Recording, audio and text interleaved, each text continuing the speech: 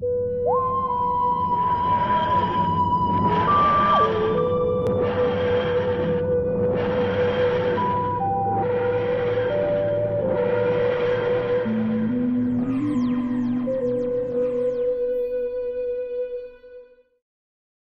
still remember the first experiments on Skaro.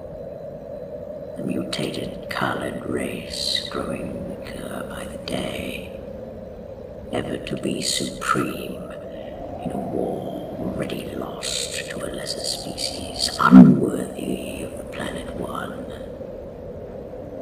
Until I raised the dying matter out of the mud and made them strong. The others, they, they said, they said, why make a warrior in a losing battle? But they did not understand. I did not want a future of a great race to be a survival after a lost war. I wanted a future to be a war won. Why remove pity and love? They make us what we are. But what we are is weak. I made Kaled more than our original. I made Kaled supreme. I made it Kaled. A Dalek. The neural circuits have responded. Has the power stabilized? Not fully. What is this for? Why do you keep me here? I need you. Why?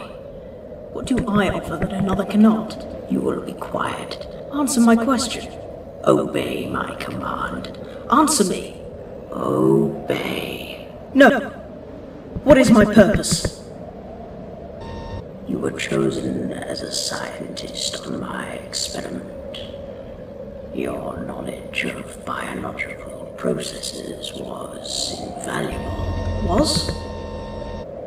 You have been of a tremendous help to the Dalek cause, and your work here will not go unnoticed. But your usefulness has ceased to exist. What do you want? Your involvement in my experiment has been so great that we wish you to be part of it further. What are you implying? This experiment has gone on so long it must be part of you by now. We want you to become part of it. No. We will take away this fear and insufferable attitude and make you stronger. No. No. No. No. no. My experiment needed one last part, No. and you are now expendable. No. No. no. You are now my soldier. No. You are now my Dalek. No!